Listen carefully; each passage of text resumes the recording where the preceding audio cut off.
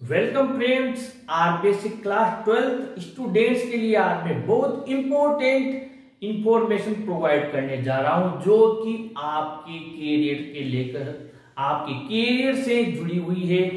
Very important news है, जो कि आप आज से ही, अगर ये मेरी बात आपने ध्यान से सुनी तो जो भी स्टूडेंट्स बिल्कुल भी पढ़ाई नहीं कर रहे हैं, वो आज से ही पढ़ना शुरू कर देंगे। वो न्यूज़ मैं आपको बताने जा रहा हूँ और वो न्यूज़ है आपकी एग्ज़ाम से रिलेटेड आपकी परीक्षा से रिलेटेड विशेष रूप से क्लास ट्वेल्थ स्टूडेंट्स के लिए ये जानना बहुत ही ज़्यादा ज़रूरी है।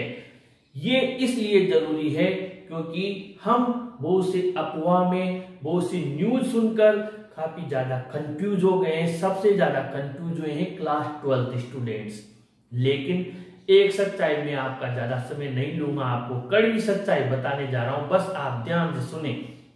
वो सच्चाई ये है कि आप दिल्ली बोर्ड, जो सीबीएसई बोर्ड है, उसकी न्यूज़ आपने ज़रूर सुनी होगी। वहाँ पर जो आपकी क्लास टेंथ का जो एग्ज़ाम था, वो उन्होंने कैंसिल कर दिया। सीबीएसई की बात कर रहा हूँ, यानी सीबीएसई एनसीईआरटी जो दिल्ली बोर्ड है, उन्होंने क्लास टेंथ की परीक्षा को कैंसिल कर दिया, यानी क्लास टेंथ के स्टूडेंट्स जो स्कूल में उनके एग्ज़ाम्स हुए हैं, उसी आधार पर यहाँ से ही उनके मार्क्स भेजे जाएँगे और उसी आधार पर उनका स्कोर लेवल बन जाएगा, उनका रिज़ल्ट प्रिपेयर हो जाएगा।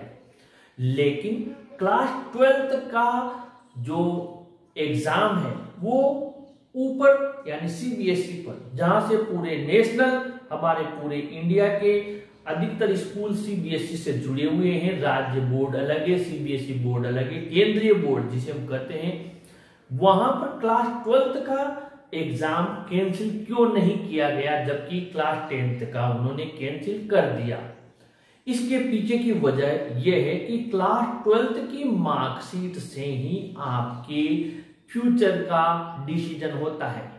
यानी कॉलेज में जब आप एडमिशन लेते हैं तो वहाँ पर कई सारी सीट्स होती हैं जो कि आपकी क्लास ट्वेल्थ की मार्कशीट की परसेंटेज के आधार पर ही आपका वहाँ पर एडमिशन होता है। अगर हमारी परसेंटेज कम है तो हमारा कई अच्छे स्कूल्स होते हैं और कई अच्छे कोर्स होते हैं, उनमें हमारा सिलेक्शन नहीं हो पाता है। डोनेशन देने के बाद भी हमारा सिलेक्शन नहीं हो पाता है। कॉलेज की बात है। इसके अलावा जब हम नौकरी में जाते हैं तो आपके BSc, MSc, BA, M MA और इसके अलावा ट्वेल्थ की जो आपकी जो मार्कशीट है उसकी भी परसेंटेज वहाँ पर काउंट की जाती है। इसके अलावा जब आप नौकरी में जाते हैं चाहे टीचर में या एसटीसी करके बीएसटीसी करके हम थर्ड ग्रेड टीचर में भी जाते हैं तो वहाँ भी आपके ट्वेल्थ की मार्कशीट जब आप कंपटीशन देते हैं, वहाँ पर भी वो काउंट होते हैं। यानी कि क्लास ट्वेल्थ की मार्कशीट के आधार पर ही आपका आगे का फ्यूचर तय होता है। अगर मान लीजिए वहाँ पर केवल पास लिखा हुआ आता है क्लास ट्वेल्थ की मार्कशीट में, जिसने दिन रात मेहनत की, पूरे चौबीस घंटे में से अठारह घंटे, बीस घंटे पढ़ा, एक बिल्कुल पूरे साल इधर उधर डोलता रहा उसके भी लिखा हुआ आया है पास। और वो जो टॉपर था, जो मेरिट प्राप्त करता, उसके लिखा आया पास। क्या अंतर रह गया? क्या आप इस रिज़ल्ट से संतुष्ट हो जाएँगे? आपने जिन स्टूडेंट्स ने दिन रात एक किए हैं, क्या वो इस रिज़ल्ट से संतुष्ट हो जाएँगे? मेरे हिसाब से बिल्कुल नहीं। वो यही चाहेंगे कि एग्ज़ाम हो और हम हमारी काबिलियत सिद्ध करें। हमने बहुत मेहनत की है। नहीं तो आप और जो बिल्कुल नहीं पढ़े उनमें अंतर भी क्या रह जाएगा? आप इतनी मेहनत की है आप यही सोचें कि एग्ज़ाम होना चाहिए। और एग्ज़ाम जब आगे कैंसिल नहीं हुआ तो यहाँ भी कैंसिल होने की संभावनाएँ बहुत कम है।